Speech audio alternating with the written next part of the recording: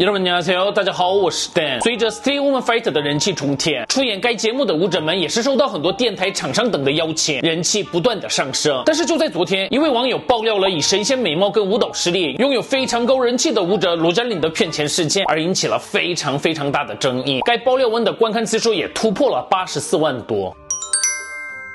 首先给大家整理一下这位网友的爆料文。在去年三月二十四号，高中三年级的网友为了以舞蹈准备大学入学考试，就自己联络了平时非常尊敬的舞者鲁占领，拜托他能培训自己舞蹈。然后这位网友给鲁佳丽汇款了辅导费、入学作品费以及租借培训场地的费用，共二百九十万韩币。两个人说好是从四月开始进行培训，一周一次，一小时三十分钟。但是都到了四月，鲁佳丽就一直延期说下个礼拜开始，下下个礼拜开始。然后有一天突然说，从五月底开始自己担任了著名 idol。的伴舞会非常忙，所以从七月开始加强培训怎么样？这位网友也同意了。但是忘记培训是延迟到七月开始的网友父母亲，在六月二十九号就打电话给了鲁占领，三个月前就汇款了，为什么还不进行培训呢？因为接到这个电话感到不愉快的鲁占领就对父母亲说了，那怎么办？要退款吗？父母亲要求了退款，而这个时候鲁占领却说，因为自己已经为网友完成了这个作品，消耗了很多时间，所以不能退款作品费跟租借场地的费用，只能退还培训费用五十万。之后这位网友有要求全额退款，但是被鲁占领给拒绝了，而且到现在为止，就连那五十万也始终没有退还。为了证明自己说的是事实，这位网友也上传了与鲁占领的聊天截图。老师，请问你有辅导入学考试吗？嗯嗯。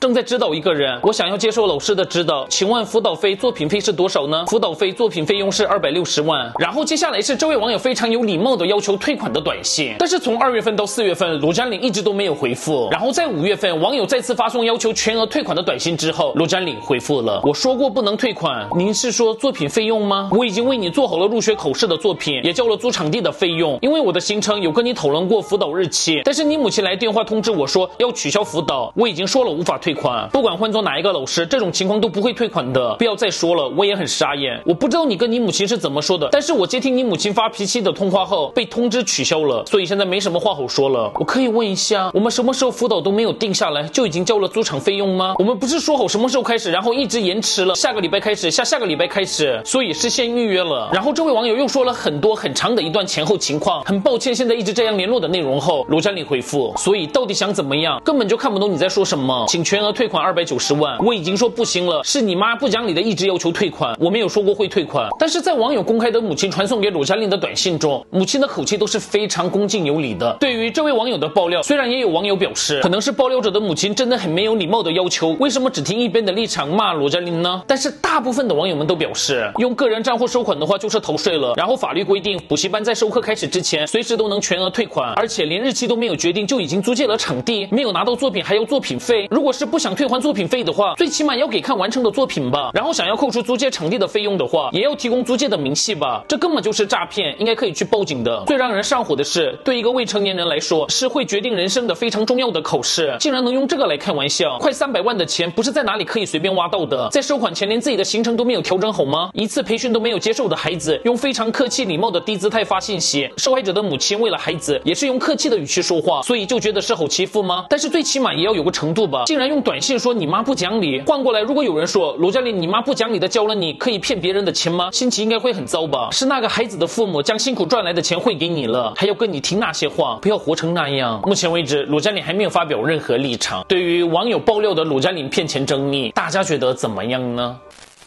接下来我们来看一下，如果庞坦孙等成谷参加无尽的 game 的话，会通过几场比赛呢？有一天，成谷收到了无尽的 game 的邀请函。嗯，无尽的 game 是什么？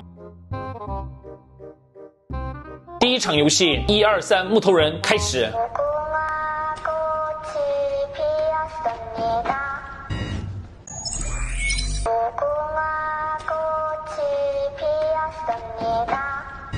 第一个游戏生存，第二个游戏